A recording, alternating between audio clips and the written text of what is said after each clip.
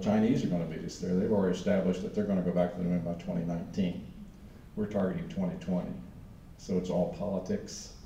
We haven't had the support from Washington DC from the executive and the congressional delegations for many years now, like we did back when John Kennedy issued the challenge to go to the moon in the sixties. He did that in nineteen sixty-one. When did we land on the moon? Eight years from the challenge. This is two thousand and nine, and we've been sort of challenged to go back by twenty twenty. How many years is that?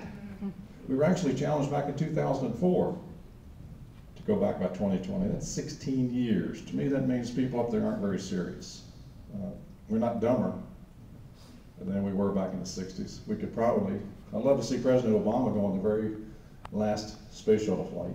We've been trying to get, it- encourage this, as a matter of fact, maybe you can too. Fly the last flight of the shuttle, seriously, and from this orbit, make an announcement to the American people that we're gonna go back to the moon six years from today. I think that would bring this country together like nothing's ever been done in the last forty or fifty years. So